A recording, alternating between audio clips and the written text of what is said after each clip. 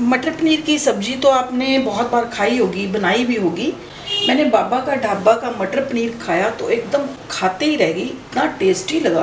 तो मेरा दिल किया कि मैं इसको घर पे बनाऊँ। मैंने उनसे पूछा, स्पेशल, कि इस रेसिपी को कैसे बनाया उन्होंने मुझे बताया तो आके मैंने घर पे बनाया तो मुझे इतना टेस्टी लगा कि मेरा दिल किया कि मैं आप लोगों के साथ भी इस रेसिपी को शेयर ज़रूर करूँ। सबसे बड़ी बात यह है कि हम अक्सर बहुत से मसाले डालते हैं अपनी किसी भी सब्ज़ी के अंदर और इसके अंदर कुछ भी ज़्यादा मसाले डालने की ज़रूरत नहीं है। बहुत ही बेसिक मसालों से इस सब्ज़ी को मैंने बनाया है। इसके लिए आप देख रहे हैं कि मैंने दो प्याज भी लिए हैं, तीन चार टमाटर की भी ज़रूरत पड़ेगी, जैसे रेड टमाटर हैं। हरी मिर्च मैंने दो रखी हैं, एक डालो, दो डालो आप अपने फ्लेवर के अनुसार डाल सकते हैं। थोड़ा सा मैंने लहसन भी लिया है और थोड़ी सी अदरक भी लिया है। और मसालों की जहाँ तक बात करें तो बहुत ही बेसिक मसाले डालेंगे और मसालों का कोई मेज़रमेंट नहीं होता। मैं आपको बताना चाह रही हूँ कि जब भी आप सब्ज़ी बनाते हो तो मसाले सब अपने हिसाब से डालने होते हैं। उसका कारण है कुछ लोग तीखा खाते हैं, कुछ लोग कम मसाला खाते हैं, कुछ लोग नमक कम खाते हैं, कुछ लोग नमक तेज खाते हैं। तो हर एक का फ्लेवर हर एक का जो टेस्ट होता है वो बड़ा ही अलग होता है। तो आप अपने टेस्ट के मुताबिक मसालों को कम ज़्यादा रख सकते हैं।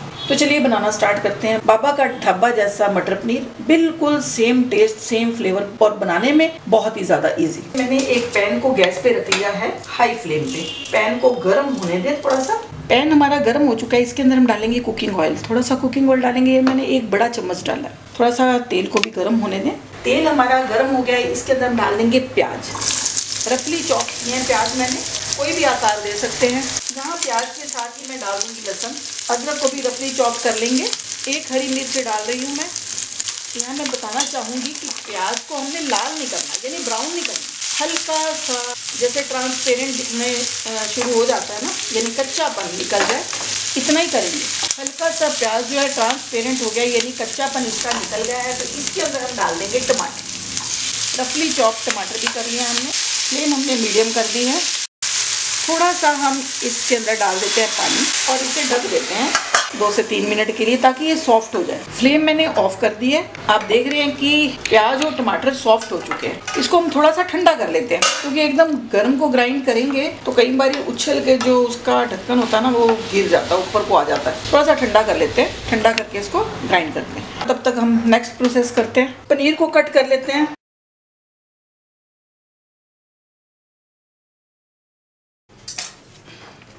मैंने फ्रोजन मटर यूज़ किया है। आप चाहें तो आप सिंपल जो फ्रेश मटर आता है, वो भी छील के यूज़ कर सकते हैं और ये मैंने पनीर के पीसेस कट कर लिए। इसके लिए मैंने एक पैन को रखा है गैस पे।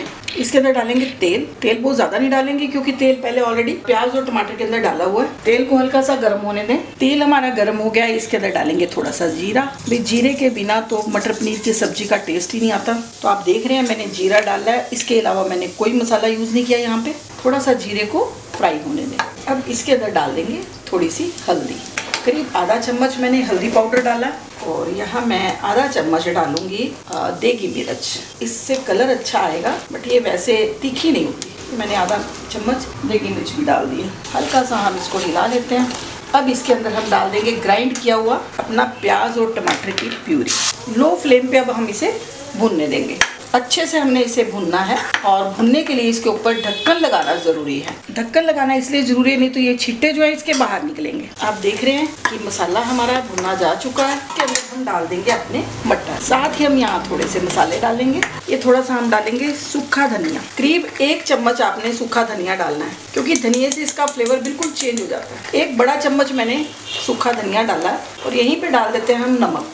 ये मैंने आधा चम्मच नमक डाला। तो फ्रेंड्स यहाँ मैं आपको एक चीज़ और बताना चाहूँगी कि अगर आपके मटर फ्रेश हैं और मीठे नहीं हैं तो आप यहाँ पे थोड़ी सी शुगर डाल सकते हो। लेकिन मेरे फ्रोज़न मटर हैं और मीठे हैं तो मुझे डालने की ज़रूरत नहीं है। तो थोड़ी सी शुगर मीन्स आधा चम्मच शुगर का डाल सकते हो आप। हल्का से इसके अंदर हम पानी डाल लेते हैं। बहुत ज़्यादा हमें गलाने की ज़रूरत नहीं है, यानी सॉफ्ट करने की ज़रूरत नहीं है, क्योंकि ऑलरेडी फ्रोज़न मटर है और ये सॉफ्ट ही होता है। बस एक मिनट के लिए हम इसे ढक देते हैं। कि थोड़ा सा ये और सॉफ्ट हो जाए आप देख रहे हैं कलर कितना अच्छा हो गया इसका। यानी मसाला हमारा पूरी तरह से भुना जा चुका है। घी आप देख रहे हैं, अलग हो गया तेल, यानी तो अब इस जगह पे हम इसके अंदर डाल देंगे पनीर। तो फ्रेंड्स यहाँ मैं बताना चाहूँगी कि अगर आपने चावल बनाने हैं, यानी चावल के साथ खाना है तो थोड़ी सी आप ग्रेवी बना सकते हैं। अगर आपने रोटी के साथ खाना है, यानी चपाती के साथ खाना है तो आप बिल्कुल इसी तरह से रख सकते हैं। लेकिन मैं इसके अंदर हल्की सी ग्रेवी बनाना चाहूँगी, इसलिए मैं इसके अंदर थोड़ा सा पानी डाल रही हूँ। पानी डालने के बाद हम इसे ढक देते हैं एक से डेढ़ मिनट के लिए।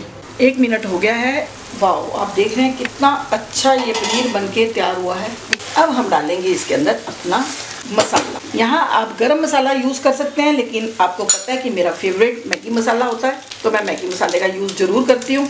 आप इसमें गरम मसाला भी यूज़ कर सकते हैं। और थोड़ी सी डालूँगी कसूरी मेथी क्रश करके। आपने देखा है कि बहुत ही बेसिक मसाले यूज़ किए हैं, बहुत ज़्यादा मसाले नहीं यूज़ किए। उसके बावजूद भी ये पनीर जो है, यानी मटर पनीर, इतना टेस्टी बनेगा कि आप एक बार बनाओगे तो आपको बार बार मन करेगा खाने का। ये हमारा मटर पनीर बनके तैयार है। बिल्कुल बाबा का ढाबा जैसा। सर्व करते हैं इसे हम। तो ये हमारा गर्मा गर्म मटर पनीर बहुत ही टेस्टी टेस्टी बन के तैयार है सर्व करने के लिए। आप इसे ट्राई ज़रूर करें और अपने एक्सपीरियंस मेरे साथ शेयर ज़रूर करें। अगर आपको मेरी ये रेसिपी पसंद आती है तो प्लीज़ वीडियो को लाइक करें शेयर करना ना भूलें और चैनल को सब्सक्राइब ज़रूर करें। और इसके साथ मैं कहना चाहूँगी बेल आइकन ज़रूर प्रेस करें ताकि आपके पास मेरी हर नोटिफिकेशन पहुँच सके। बहुत से लोग कहते हैं कि हमारे पास नोटिफिकेशन नहीं आती। तो बेल आइकन ज़रूर प्रेस कर लें ताकि आपके पास नोटिफिकेशन पहुँचे और आप मेरी हर रेसिपी का फ़ायदा उठा सकें। Thank you